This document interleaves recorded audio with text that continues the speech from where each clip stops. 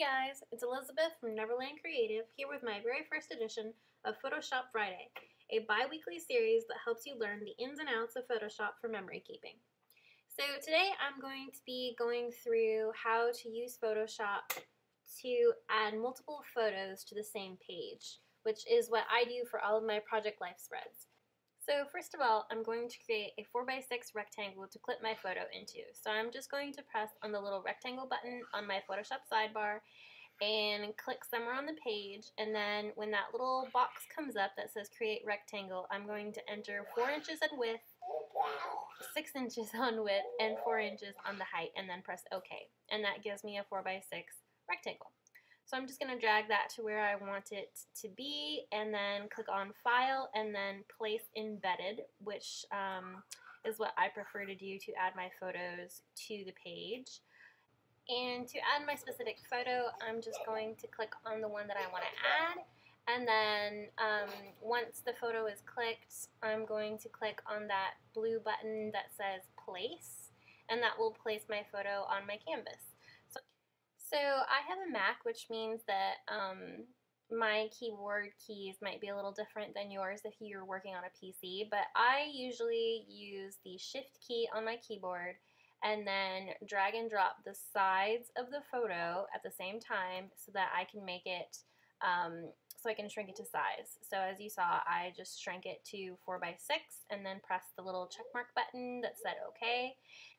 So now I'm going to go over to my layers um, bar, which is over on the right that you can see, and it has things like background, rectangle 1, and then the image name.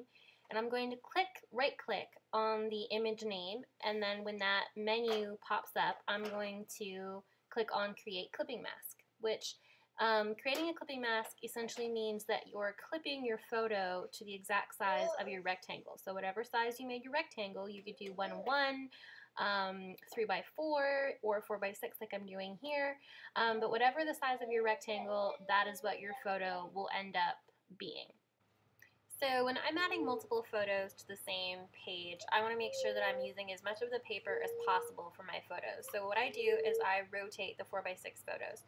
So over in my layers, I click on both the rectangle and on the image. I go into Edit, Transform, and then I usually do rotate 90 degrees clockwise and click on that and it will automatically rotate your photo so that it's um, completely straight vertically, which is great because if I do that freehand, it never ends up being exactly straight. And when you're um, cutting out photos, you know, you need to, to have straight lines.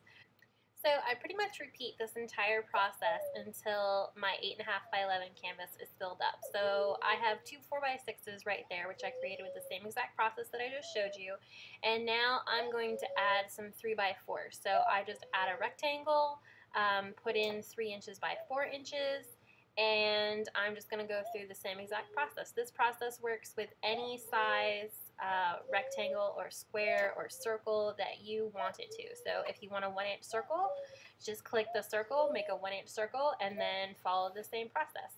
Um, as you can see, that photo that I have of my daughter right there actually was big enough to fill up the entire canvas. So again, I just pressed the shift key on my keyboard and dragged the sides of it so that it would fill the frame.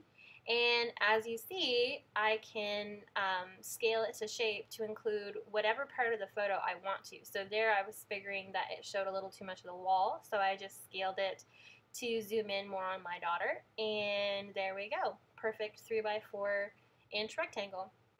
And even though this process can seem a little bit daunting to some, it is really easy once you get the hang of it. I think I made this entire collage of photos within about two minutes because I've been using Photoshop for the last couple of years and now I pretty much do it on rote. Um, I know where everything goes and how to do all the things, so it's really easy once you get the hang of it. So I'm just going to continue doing the same process until my entire canvas is filled with photos. Um, create a rectangle, place your photo, scale your photo, and then right click on the photo layer and then click um, create clipping mask, as you can see right there. And um, you can adjust where your photo is, where your photo is aligned. Um, but pretty much that's your process. And again, I rotate it to fit more photos on my page. And that is my full process for adding multiple photos to the same 8.5 by 11 page. Alright, so that's my process. I hope you enjoyed it. If you have any questions about how to add multiple photos to the same page in Photoshop, please don't hesitate to comment down below and I will try to answer your questions as best as I can. If you like this video, please give it a thumbs up and subscribe to the channel if you'd like to see more of my Photoshop Friday series or anything else that I post here on my channel. Thanks so much. Have a great day. Bye.